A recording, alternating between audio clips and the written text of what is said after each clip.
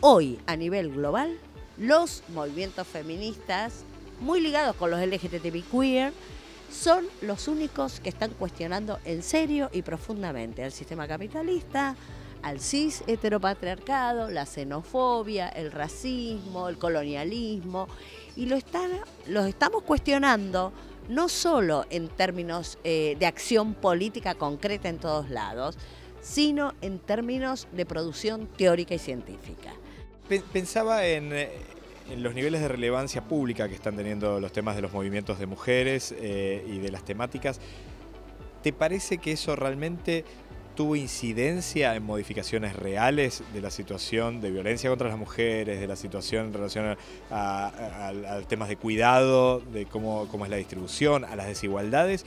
¿O simplemente se consiguió llegar a los medios y al, a lo que es eh, el discurso público de estas temáticas, pero todavía hay tantas cuestiones pendientes que no ha habido un, gran cambio. Bueno, en principio los cambios en las legislaciones, que era lo que yo te decía antes, que todas las leyes con relación a violencia, por ejemplo, que es un tema tan clave y que después aparece más tardíamente, como los feminicidios tipificados de otra manera, eso ya en los 90 muchos países tienen esas leyes y en los 90 el movimiento de mujeres fue muy importante en muchos países de América Latina y con muchas luchas. Es mentira que no pasaba nada en los 90, es absoluta y total mentira en términos de los feminismos y de otros movimientos sociales también. Es más, en el caso argentino, por ejemplo, el movimiento de piqueteros fue muy clave en el 95 cuando en el piquete empiezan a aparecer estos problemas que tienen que ver con la vida cotidiana de las mujeres. Entonces, el cuidado, la violencia, los derechos sexuales y reproductivos, el aborto impacta en el cuerpo directo de las mujeres y ni que hablar en su vida, en su vida cotidiana. Entonces, yo creo que ha habido un avance enorme en términos de legislaciones, creo que ha habido un avance enorme en términos de concientización de todo esto, creo que ha habido un avance muy importante en las formas organizativas políticas. Digo, hoy a nivel global, los movimientos feministas, muy ligados con los LGTBI queer, son los únicos que están cuestionando en serio y profundamente al sistema capitalista, al cis heteropatriarcado, la xenofobia, el racismo, el colonialismo, y lo están, los estamos cuestionando no solo en términos eh, de acción política concreta en todos lados, sino en términos de producción teórica y científica. Entonces, a mí me parece que hay un gran avance. Yo te digo que el martes 28 se presenta nuevamente el proyecto de la interrupción voluntaria del embarazo en la Argentina, y yo estoy encargada de esa parte porque iba a estar acá, no está ahí allá. De, soy parte de la campaña nacional, por supuesto, eh, de, de los apoyos internacionales. Y te cuento que en este momento tenemos 55 pañuelazos en distintos lugares del mundo que va desde Sydney hasta Estocolmo, toda la región de América Latina, toda Europa muchísimo. Y eh, esto es para acompañar la presentación. Cuando se hizo el debate el 18A, 18 de agosto, que podría haber sido ley, nos acompañaron 65 pañuelazos en todo el mundo frente a las embajadas argentinas reclamando y apoyando el derecho. Entonces, es, te doy este ejemplo para mostrarte que es un movimiento profundamente global. Ni que hablar ni una menos, ni que hablar los paros internacionales de mujeres.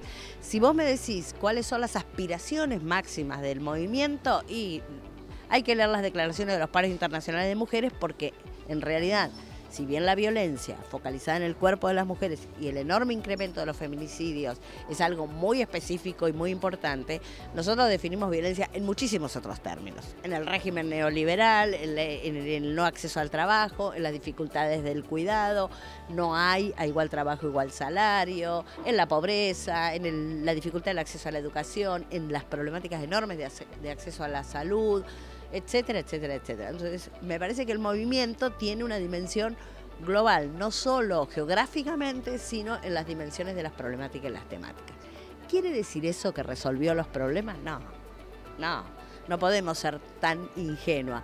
Quiere decir que estamos en una pelea muy organizadas, muy organizadas, cada vez más organizadas cada vez somos más cuantitativamente, pero no es solo un problema cuantitativo, sino de real expresión en cada, en cada espacio y que eso se supone que abre una brecha en medio de enormes discusiones. Los feminismos se definen por una práctica personal, pero a su vez una posibilidad de reflexión permanente. Somos muy autocríticos, muy autorreflexivos, entonces está todo el tiempo, está toda la discusión.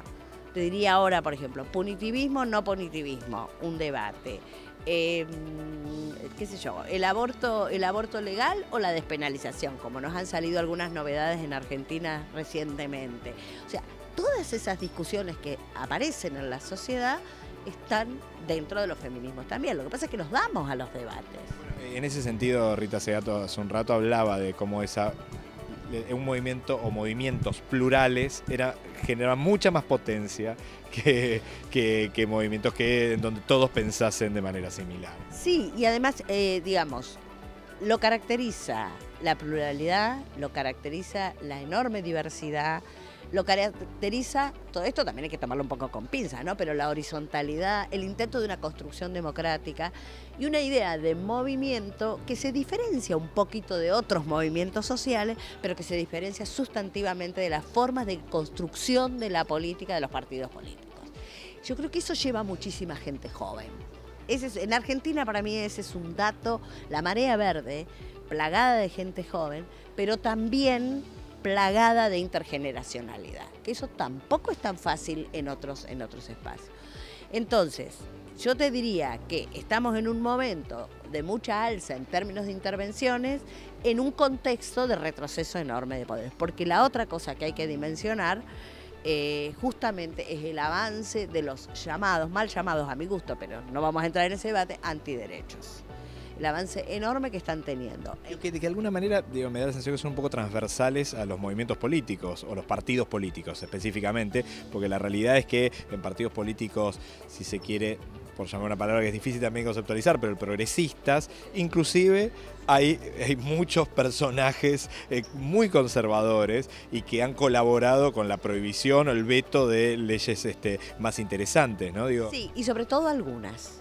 La ley del aborto es clave en la eh, furibunda, eh, ¿cómo diría? Eh, oposición que genera, tanto de los grupos antiderechos hiperconservadores como al interior de los partidos. A mí me parece muy increíble que en el caso argentino y ya también en toda América Latina sigan diciendo que es piantavotos. Por ejemplo, pasado el 2018 y cuando digo pasado el 2018, en este tema en particular, no digo solo el evento de la Argentina, que fue muy, muy importante, honestamente, sino también lo que se desplegó en la campaña latinoamericana del 28 de septiembre por la despenalización y la legalización del aborto. Pero no es el único tema. Lo que han hecho las Ni Una Menos, la forma de expresión global del Ni Una Menos contra las violencias, los paros internacionales de mujeres. Ahora, a mí me parece que todo esto, que es un avance, tenemos que tener como muchísimo cuidado frente a los exitismos. Porque la verdad que poner mucha gente en la calle, poder hacer producción teórica importante que puede discutir a nivel de cualquier otro tipo de producción teórica hecha por varones o por quien sea, digamos, eh, a veces también te da una dimensión de que, bueno, nada, yo acá traje pañuelos, no me alcanzaron, o sea, te lo quitan, te lo sacan. Antes nos escupían la cara, antes no hace tantos años cuando queríamos dar un pañuelo verde, por ejemplo. Pero porque la marea verde no es más argentina, no es más solo por el aborto, es por todos los derechos denegados a las mujeres. Entonces me parece que tanto las mujeres como los colectivos de disidencia sexual, las travestis y trans muy especialmente, son grupos que están todo el tiempo en riesgo y nuestros derechos están permanentemente en riesgo, como lo dice algún texto muy importante que salió no hace mucho. Yo lo que creo es que mientras que haya un movimiento social importante que traccione ciertas demandas, eh, bueno, más tarde que más tarde o más temprano esto se va a dar.